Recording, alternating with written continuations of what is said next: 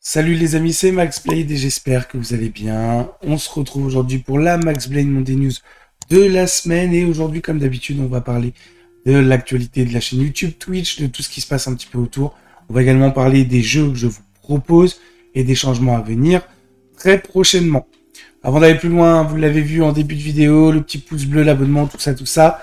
Et on va passer directement à ce qui se passe pour la chaîne YouTube, Twitch et tout ce qui est autour. Donc vous le saviez, la semaine dernière, je l'ai annoncé, la Geek Night TV a fermé ses portes et à partir de maintenant, le live quand j'étais sur la Geek Night revient sur la chaîne, ce qui va me permettre de proposer pas mal de nouvelles choses.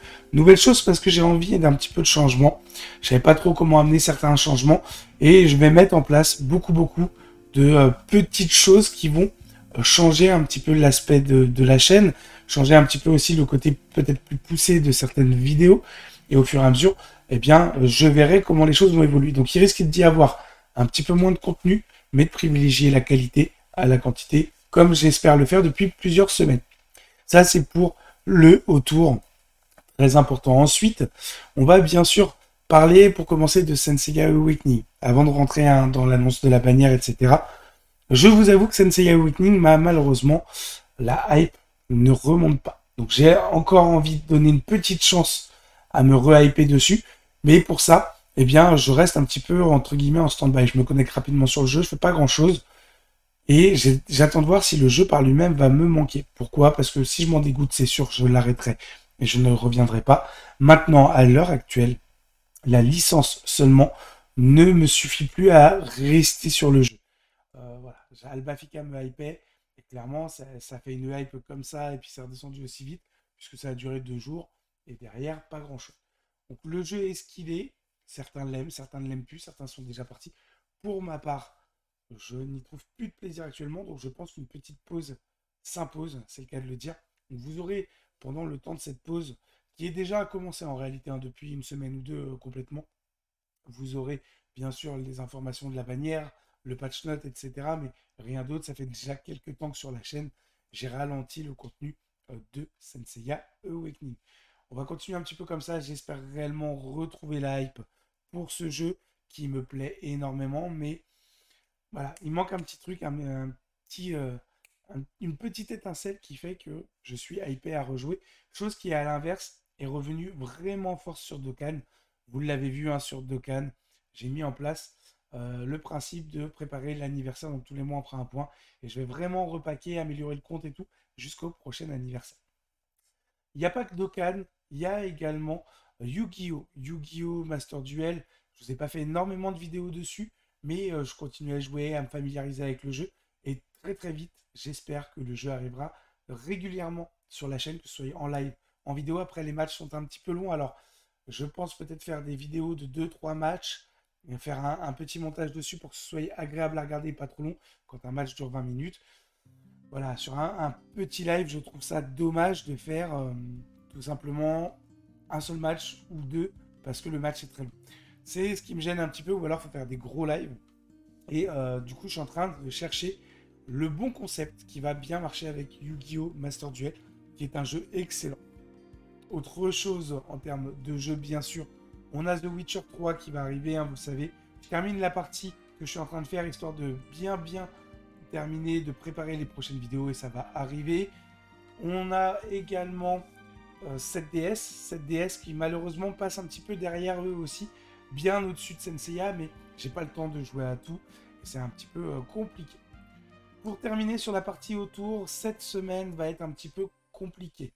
En effet, euh, bah déjà demain c'est mon anniversaire, mais je ferai le live quand même.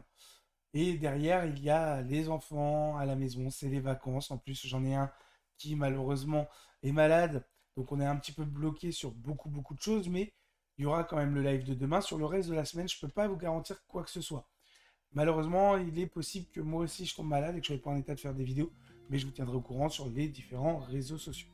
Pour ce qui est du autour de la chaîne, on en a terminé là. On va attaquer pour une première fois directement avec euh, Senseiya Awakening. Et où pour ça, eh bien, on va attaquer avec l'annonce de la bannière, puis le Lucky Cat. L'annonce de la bannière, elle est la suivante. C'est un rerun, une bannière un petit peu tampon, que je vous conseille pas d'invoquer, même s'il y a deux très bons personnages. Un Doko, God Close. J'adore Doko, vous le savez. En plus, le perso, moi, je le trouve excellent. Gemini Cannon, qui est également sur la bannière. Très bon perso, toujours utilisé dans différentes teams. C'est deux bons persos, à part pour quelques shards. Je vous conseille réellement pas d'aller invoquer. Pour moi, c'est une bannière tampon. Vous savez, Persephone va arriver. Peut-être que demain, dans l'annonce du patch note, on aura l'arrivée de Persephone en SD. Peut-être que ce sera un petit peu décalé. Mais je vous conseille absolument pas de pool sur cette bannière-là, à part pour quelques shards qui vous manqueraient seulement. Pour ce qui est du coup de l'annonce de la bannière, on en a déjà terminé. On reviendra bien sûr sur le patch note dès demain et on va passer eh bien, sur le jeu pour le Lucky Cat. J'ai complètement craqué hein, pour Albafika. J'ai été le chercher au shard. J'ai donc dépensé énormément de gemmes, ce qui va faire que je ne peux pas faire le Lucky Cat en entier. Mais du coup, le Lucky Cat, eh bien, hop, voilà, on va le faire ensemble. Et pour le faire, eh bien, il me reste donc 181 gemmes seulement. On va faire du coup tous les paliers qu'on peut faire. C'est toujours des gemmes gratuites, des gemmes obtenues. Ça, c'est une bonne chose. Maintenant, je ne joue pas spécialement en ce moment. Je vous l'ai dit, obligatoirement. J'ai pas de gemmes qui tombent. Hein. Il n'y a pas, il a pas 36 000 solutions. Vous voulez des gemmes, il faut farmer ce qu'il y a de farmable et sinon, il faut mettre la main au porte-monnaie. Allez, on part pour le premier palier qui est complètement buggé. On en avait 185. Voilà, on en a eu euh, je ne sais pas combien. On passe sur le deuxième palier. 30, on passe à 34. On passe à la suite. Le troisième palier, 72. C'est toujours ça de récupérer. On va repasser euh, le palier des 200 gemmes. On en a maintenant 210.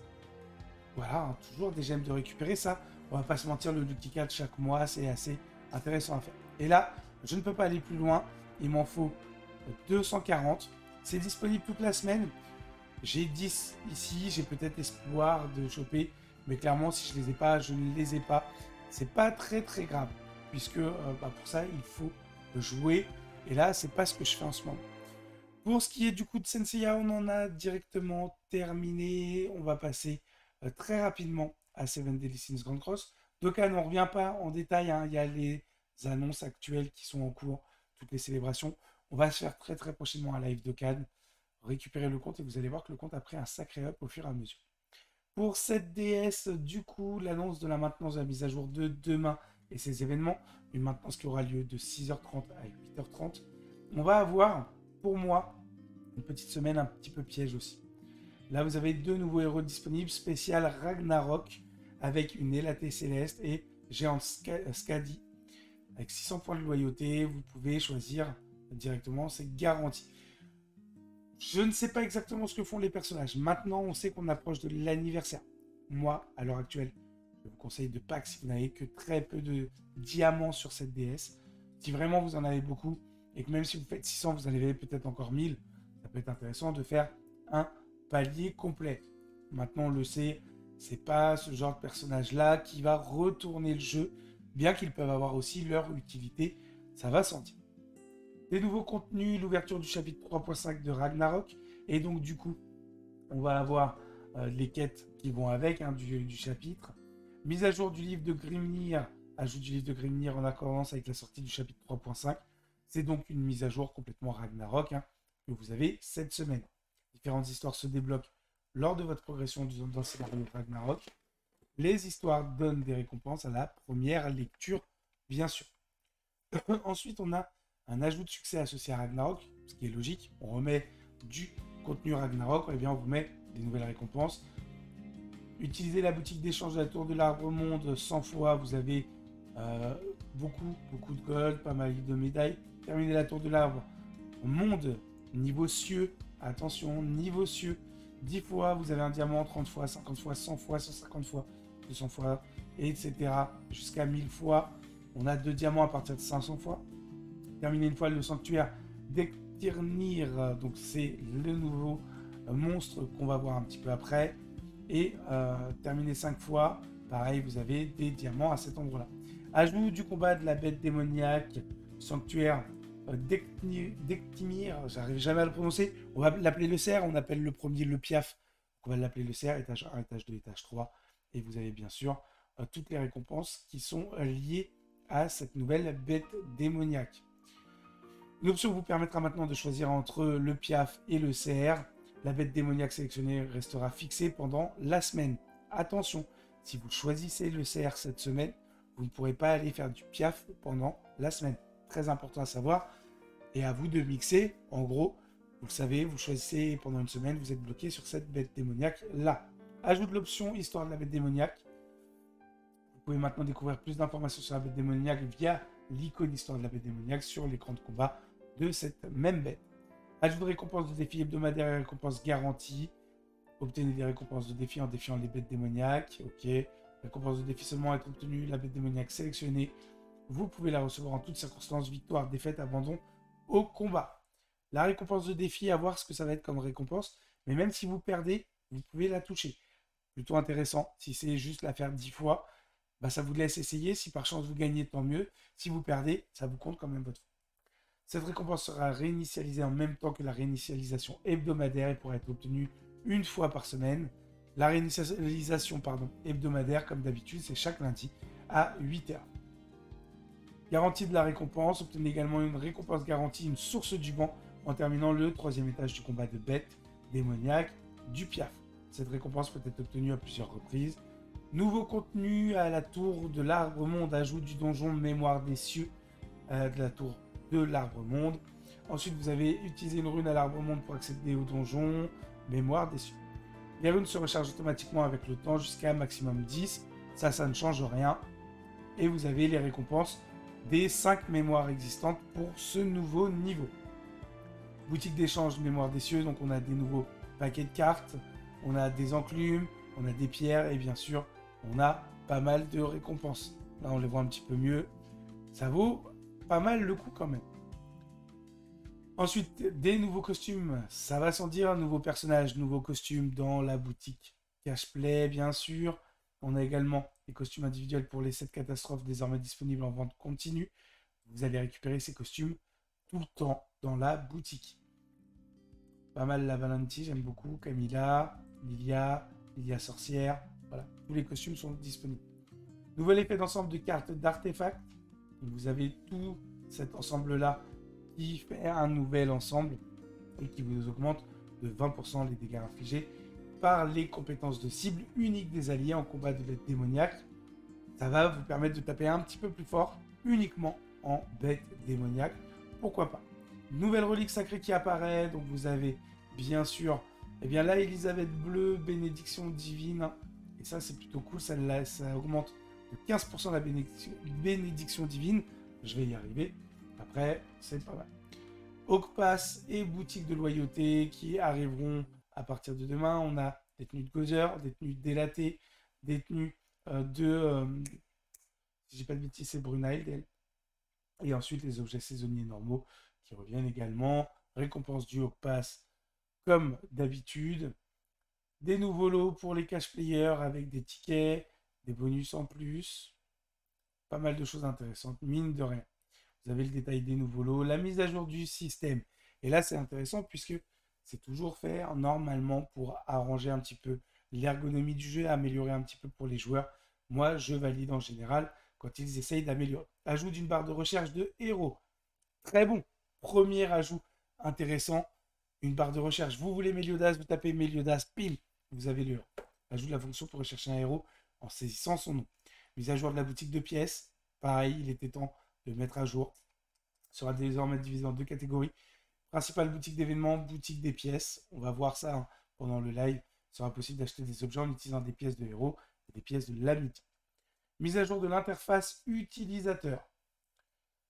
Lors de la formation d'une équipe d'assaut en compétition de confrérie, l'interface utilisateur lors de l'organisation des équipes d'assaut en compétition de confrérie a été améliorée afin d'éviter tout chevauchement de texte. C'est pareil, c'est un petit confort visuel pour les joueurs qui font les guildes versus guildes.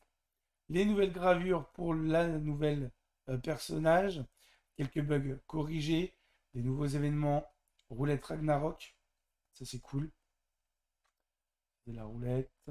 Événement de combat, le raffut masqué. Vous obtenez des coffres. L'événement de don de village qui revient. Attention, à partir du 15 février. Donc, c'est pas pour tout de suite. À partir du 15 février. Et la fin de tous les événements actuels. On va pas revenir en détail dessus, mais il y a pas mal de choses. Voilà, une bonne semaine sur le contenu de cette DS. Maintenant, il est vrai que euh, la bannière, pour moi, est plutôt une bannière piège. Je vous conseille de paquer si vous êtes un petit peu à sec. Si vous avez beaucoup, beaucoup de gemmes, n'hésitez pas à invoquer. Moi, pour ma part, je tourne aux alentours des 300 diamants. Euh, je vais clairement skip, même si je trouve la Elatée très, très fort. Je vais clairement skip cette bannière pour pouvoir stocker un petit peu et, euh, et pouvoir me permettre d'invoquer comme il faut sur les bonnes bannières. Sur ce, on en a fini avec cette Max Blade Monday News et elle a été assez chargée. J'espère que ça vous aura plu. On se retrouve dès demain pour le live sur normalement 7DS. Et puis euh, on se retrouvera dans la semaine pour d'autres vidéos, d'autres lives. Jeudi soir, live avec Phenom, on vous offrira des cadeaux. N'hésitez pas à être présent, très important pour avoir une chance de remporter une toile notre poteau, l'artiste peintre Phénom, qui fait un taf de ouf. Sur ce, les amis, je vous laisse là. Prenez soin de vous. Ciao, ciao.